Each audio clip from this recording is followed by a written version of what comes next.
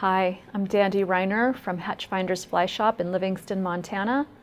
Right now I'm tying a caddis soft hackle, um, another wonderfully effective pattern. Uh, if you fish this trailing behind an elk hair caddis, many times it'll hit this soft hackle. Very simple, only a few ingredients involved.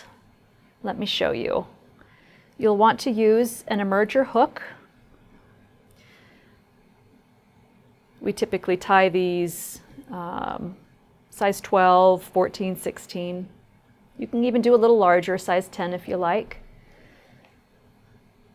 This is a yellow olive thread. You can use um, a dark olive.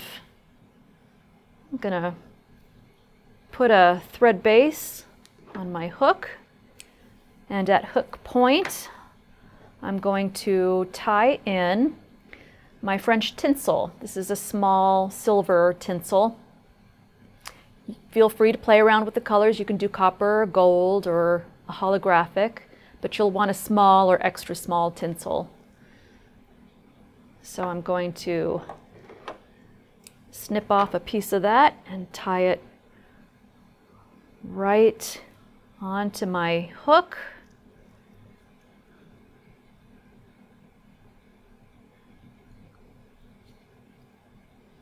This caddis soft hackle has uh, a pretty slender body. And I use superfine dubbing. Uh, I will be using a little bit of light olive, but uh, you can use pale evening dun. You can play around with the color. You can mix your own, but typically a light olive or pale evening dun.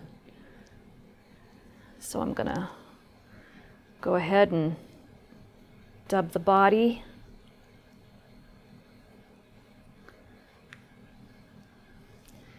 And starting from the rear of the fly, I'm going to move forward,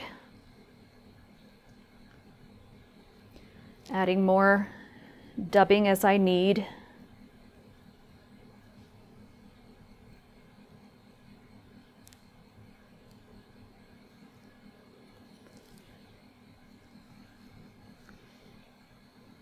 Try to keep the body even with no big lumps or gaps.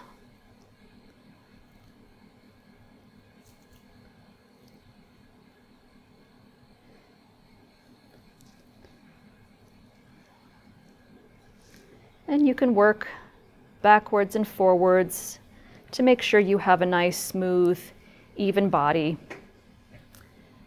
And the next step is uh, I wrap with my tinsel. I wrap forward, keeping your wraps even.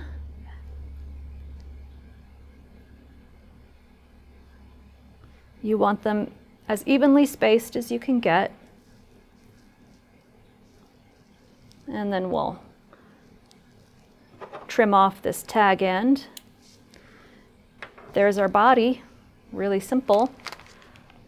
The, the wing is a uh, CDC. This is a medium dun. Again, you can play around with the colors. Trout Hunter CDC is my favorite. You get big, beautiful feathers in the Trout Hunter packages.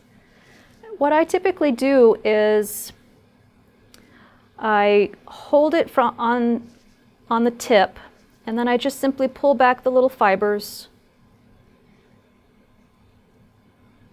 and I tie it in at the, the tip. Few good wraps. I snip off the, the excess and I just, with the fibers reaching back,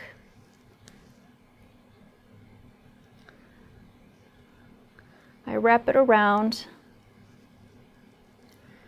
quite a few times and I just broke my, I broke it. I can tie that in again. So I take the CDC feather and I hold it at the tag end and I push all the fibers back and I tie it in at the tip, several good wraps, trim off the tag and a few wraps of thread to secure it. And I make several wraps with the CDC feather. You can fold the fibers back as you're wrapping it around. And then tie it off. Trim off your tag end.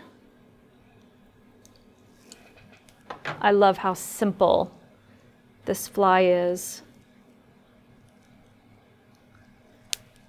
I just broke the thread. So after you've snipped your thread off, after the thread is broken, and make sure you do break your thread, just simply tie it, tie it in again. Trim off your tag ends. I've got that piece of other piece of thread here. I'll just snip that off. And you can whip finish it off. I like to put several knots in my fly. Beautiful. This is such a beautiful, simple, classy fly. Little drop of head cement. The fibers are falling back beautifully. Caddis soft hackle.